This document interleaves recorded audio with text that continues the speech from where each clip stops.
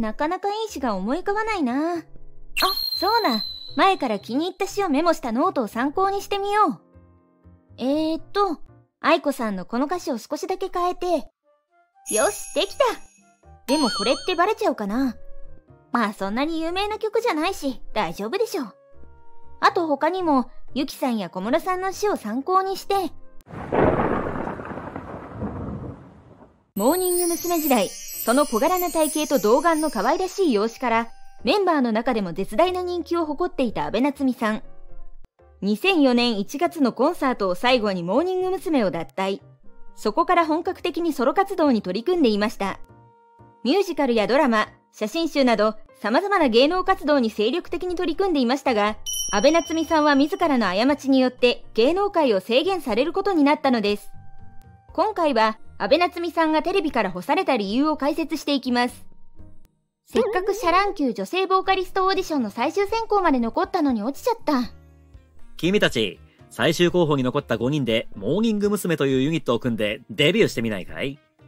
え、いいんですか？ただし、CD を5万枚手売りすることができたらだ。絶対に売ってみせます。頑張ります。1997年、テレ東系列、アサヤンのオーディション企画、シャラン級女性ボーカルオーディションで最終候補まで残った中澤優子さん、石黒彩さん、飯田香織さん、福田明日香さん、安倍夏美さんの5人でモーニング娘。が結成されます。デビューするためには5万枚のシングルを手売りすることができたらという条件付きでした。人気もない、知名度もない女の子たちが CD を5万枚も売るなんてとても大変だぞ。まあ、無理だったとしても番組の企画としては盛り上がるわけだし、いいか。CD 買ってください。この子かわいいな。いいよ、買ってあげる。頑張ってね。ありがとうございます。この調子でどんどん売っちゃおう。夏美さんたちは日本全国で手売りをして回り、なんとすぐに CD5 万枚を販売してしまったのでした。すごい想像以上の人気だこれならメジャーデビューしてからが楽しみだぞその後5人はアイドルグループモーニング娘。として活動し始め、瞬く間に世間の人気者へと成長していきました。中でも、夏美さんは男性からの絶大な人気を誇っており、モーニング娘。を脱退後もその人気は続き、ファンに困ることはありませんでした。夏美ちゃんはグループを脱退したけど、そこでも十分人気が出る。ソロデビューに合わせて写真集やエッセイ集を出して一気に稼いでしまおう。はい。でも私そんなに文章を考えるの得意じゃないんですけど。内容は何でもいいよ。とにかく作れば売れるんだから。他にも松浦綾とのコラボで曲を出すから、どれもしっかり頼むよ。わかりました。でもやるからにはいいものを作りたいと思います。夏美さんは2004年の2月にソロデビューしました。そして写真集、エッセイ集など、今までの活動とは違ったことに挑戦したのでした。うーん、文章を考えるのって想像以上に難しいぞ。全くいいものが浮かんでこない。どうしよう。そうだ、他の人のを参考にしたらいいんだ。よし、できた。これでよしと。でも盗作って言われたらどうしよう。でもたまたま選んだ言葉が同じだったってだけだし、別に人のものを参考にするくらいどうってことないよね。夏美ちゃん、出来上がったエッセイ読んだけど、すごく良かったよ。詩を書く才能あるんじゃない？えへへ。これなら大ヒット間違いなしだよ。夏美さんはなかなか詩が出来上がらないことから、つい有名アーティストの歌詞などをパクってしまったのです。そんなことがバレないわけもなく。安倍夏美のエッセイ集のこの部分、愛子の歌詞に似てね。これ、似てるってどころか、ほぼそのまんまじゃねえか。安倍夏美やっちまったな。これは言い逃れできない。夏美さんの盗作疑惑は瞬く間に広まっていったのです。今、ネットで騒がれている盗作疑惑ってのは本当なのか？はい。まさかバレると思ってなくて。でもマスコミも騒ぎすぎですよね。ちょっと人のものを借りたくらいで。何を言ってるんだ？はあ、他にも勇気やグローブの歌詞のパクリ疑惑も出ているけど。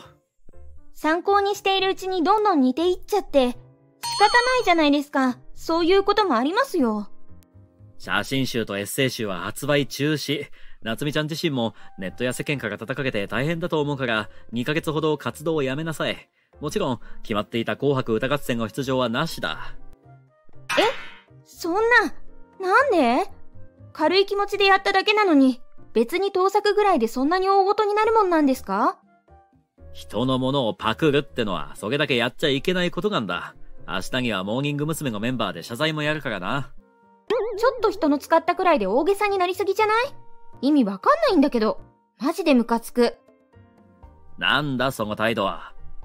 だってこの世の中には限られた言葉しかないんだから、たまたま同じになっちゃうことってあるし、こんなことで謝ったりテレビ出られなくなるの、本当意味わかんないんだけど。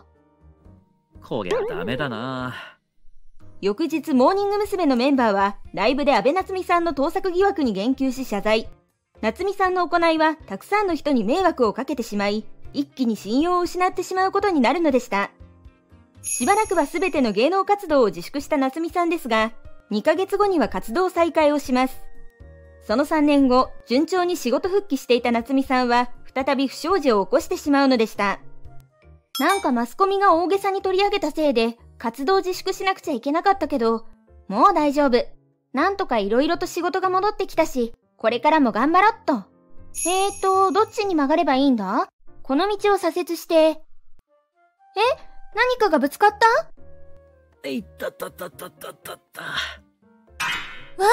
大丈夫ですか ?2007 年の10月7日午後7時頃、夏美さんは駐車場から出る際にオートバイとの接触事故を起こしてしまうのでした。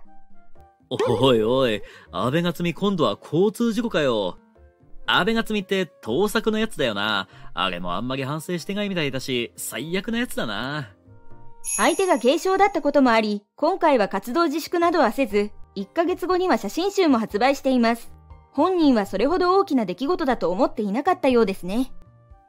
これだけ不祥事が多いと、気軽に矢部夏美はテレビに呼べないな。盗作だけでもイメージが悪いのに、今回は交通事故なんてイメージ最悪だろう。これ以降ほとんどテレビに呼んでもらえなくなった夏美さんは舞台中心の活動へとなっていくのでした。こんなしょうもないことでテレビに呼んでもらえなくなったのは尺だけど、ミュージカルとか写真集とか頑張って活動してやるんだから。そして2011年、ミュージカル嵐が丘で俳優の山崎育三郎さんと出会います。お疲れ様でした。夫婦役の息ぴったりで助かったよ。本気で夫婦になったつもりでやってたもん。俺だってそうだよ。舞台上じゃなくたってキスができる。ちょっと、いきなりキスしないでよ。好きだよ。山崎さんと夏美さんの距離は急接近していき、すぐに交際に発展したのでした。打ち上げ会場では何度もキスをしており、周りにいた関係者はすごく驚いていたそうです。育三郎さん、私赤ちゃんができたみたい。本当かい？それは嬉しいな。結婚しよう。その後、2015年12月、山崎さんと夏美さんは結婚しました。2016年の7月には赤ちゃんが生まれているので、できちゃった結婚だったのでしょう。現在は2児の母として芸能界からは距離を置いています。いろいろと騒動を起こした安倍夏美さんですが、現在は資格を取り、子供たちの良き母となっているそうです。安倍夏美って結構悪いことしてんのに、全然悪びれてないの、印象悪いなそうですね。そういったところが世間からの評価が著しく下がった要因の一つなんでしょうね。盗作なんか、ほとんど愛子の歌詞をそのまんま使ってるもんな。言い訳するには苦しいですね。この件が原因でファンクラブの会員数が激減したようです。そりゃそうだろうな。ちなみに、安倍夏美さんを Google で検索すると離婚と出てきます。え、山崎育三郎と離婚したのか？いえ、そんなことはありません。あまり夫婦仲について話さないことからそういう噂が出ているようですが、実際はよくわかりません。もともとの印象が悪いと何も話さないってだけで離婚疑惑まで出るんだな。